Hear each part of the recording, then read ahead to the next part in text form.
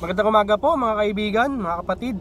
Ngayong araw po ito, meron po akong ginawang isang video na kung saan eh, lalo na yung mga driver po na hindi marunong magtanggal ng gulong. Ayan. So may tumawag po kasi sa akin kaibigan na naplatan daw siya at hindi niya alam kung saan magja-jack sa kanyang sasakyan. Sabi ko, eh ganito, habang ginagawa niya, nagbi-video all kami.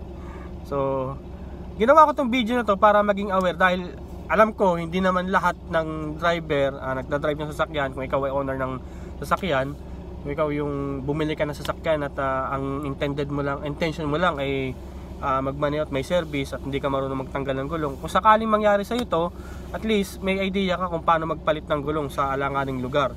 So ito special itong video ito dahil ako ang nagtanggal ng gulong sa video ito pero special ang nagkabit ng gulong.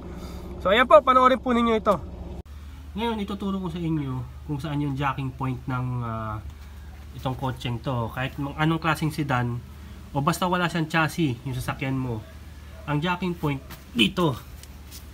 Ngayon, kung i-jack mo ito, ang jack na kalimitan naka, uh, nakalagay sa isang sasakyan, lalo na pag mga brand new, ganitong jack.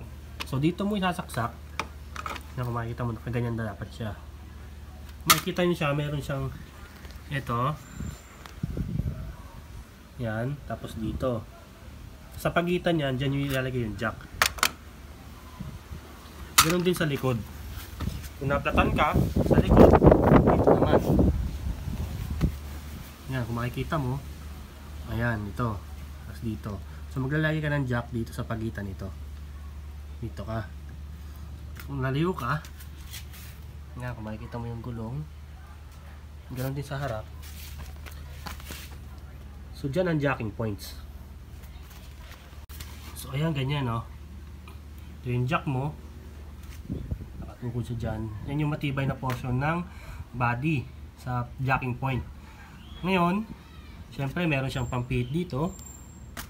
So ina-advise ko sa mga kumuha ng mga brand new sasakyan o nag-aaral pa lang, dapat matuto din kayo ng mga basic ano na pagtatanggal ng gulong.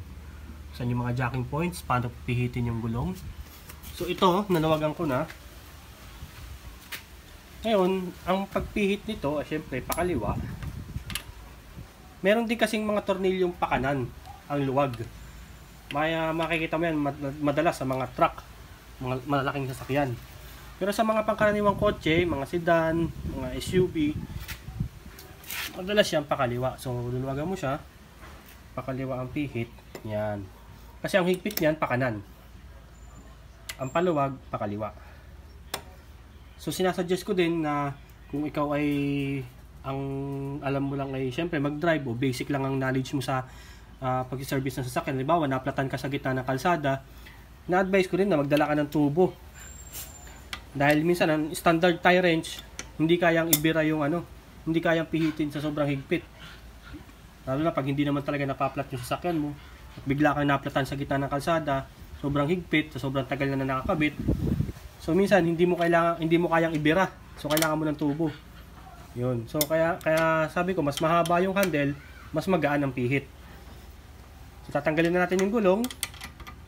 Pag natanggal mo na yung gulong, o di at least marunong ka na magpalit ng gulong pag naplatan ka, 'di ba? Hindi ka na kailangan tumawag pa ng mekaniko. So ayan. Ganun lang kasimple ang pagtatanggal ng gulong. So ayan, 'di ba? Natanggal na natin yung gulong. Oh. Ganun lang kasimple. So yung sinasabi ko sa inyo yung pagpihit ng tornilyo, bakit may pakaliwa, may pakanan, kung makikita nyo yung thread, to trivia lang to para sa mga uh, gustong malaman kung bakit may pakaliwa, may pakanan. Kung makikita mo yung thread niya, yan, medyo paslant siya.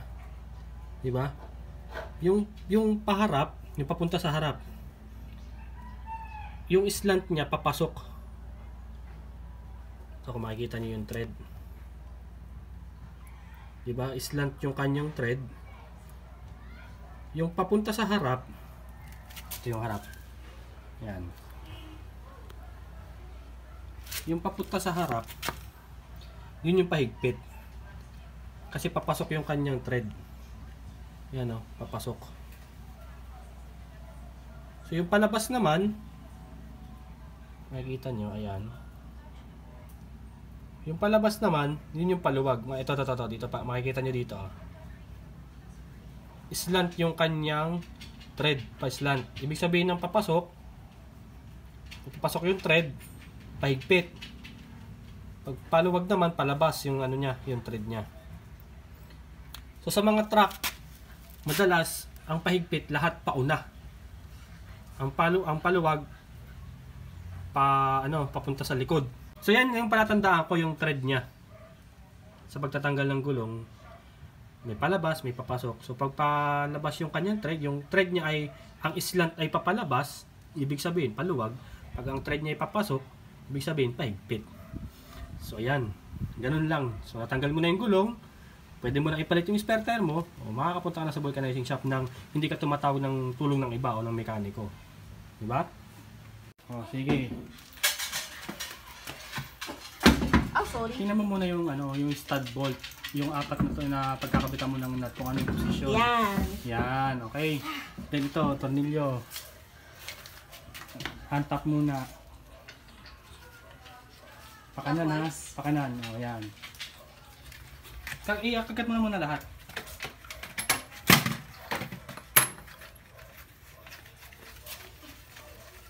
Yan.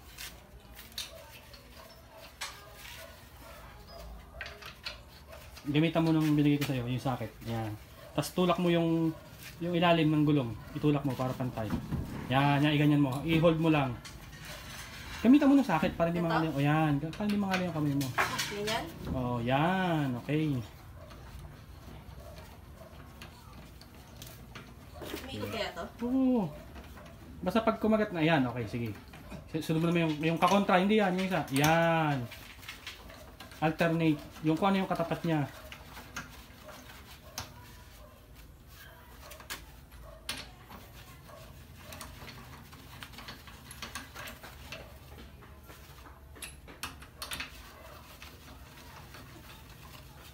Yan. O, sige. Ito no, tama to. O, yan. Okay. Hindi, hindi. Yung ano, katapat. Yung katapat. Tapat. Yeah, pag, Lagi katapat. Oo, pag maghihigpit ka, yung katapat. Para balanse. Oh, mali din yung, yung paghawak mo ng tools, mali ha. Pero ano, sige, sa ano susunod. dapat? Yung kamay mo sa kanan. Kanan. Balik, yan, Dito. pag ganyan, oo. Ah, Oo, ganyan, kagat lang. Pag kumagat na, okay na. Mamaya mo higpitan pag baba na ng body. Okay na, o, sige, baba mo na yung jack. paano Tanggal, tanggalin mo yung tubo. Tanggalin mo yung WD-40. Ito. O, yan. Tapos taas mo muna kasi nakatukod yung jack stand. Taas mo muna. Oo. Ikot mo na, nakaredy na yan. Pakanan. Paano Hawakan mo din sa gitna. Yung hawakan mo sa gitna. Gitna. pantay, ipantay mo. Ito. Hindi, pantay. Yan, pag ganyan. Tapos hawakan mo sa gitna. Ito. Yan, okay. Tapos pihit pa Yan. Pa pakanan. Oo. At tatanggalin mo yung jack stand eh. Sige, sige. Tapos, paano pag hindi na ako kaya? Ah, medyo islant mo, na-islant mo na. Ah, Yan. okay. Tingnan mo kung maluwag na yung jack stand, pwede mo nang ihugutin. Paano ko malalaman kung malamang? Nakaangat na. Nakalutang na siya. Ah, hindi pa. O, Taas mo pa.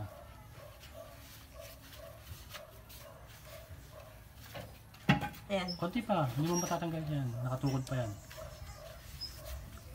Kung may hila mo na, di hilahin mo na. O, di pa, nakatukod pa. Konti taas pa.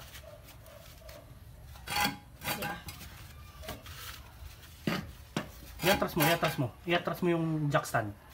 Atras mo, paatras. Papunta sa gulong, papunta sa gulong. O yan, labas mo na dun. Sa, yan. Ito lang. Okay na, o, sige. Tapos, ang gagawin ko? Kaliwa na. Dahan-dahan. Hmm. Pwede mo bilis, bala kung ano. Pwede mo bilis, pwede mo hindi.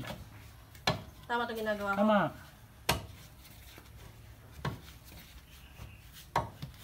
Ah, very good.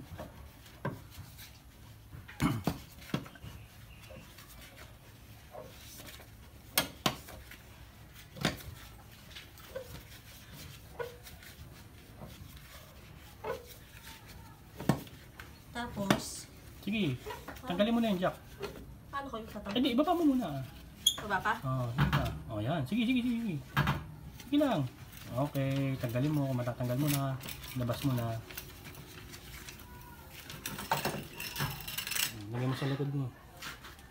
Ngayon, magipit ka na ng gulong.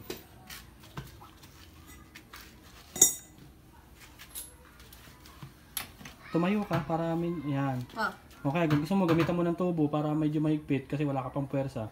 paano tubo? I-extend mo yung tubo. Extend? I-extend mo yung tubo sa ano, isuksok mo yung tubo Ito? dito. Yan. Pero hindi mo tutuduan ng sobra. Yan, sige. Hahawakan mo dito ha. Papasok mo ng maigi. Ganyan, pasok. Pasok mo ano, ang pag, ito, ito. Yan, hawakan mo Ah, dito. okay. Yan. Okay, okay na, okay na, okay na. Oh. Yung katapat. Pakadulas ha. Make sure na nakapasok. Okay. Okay na, okay na. Yan.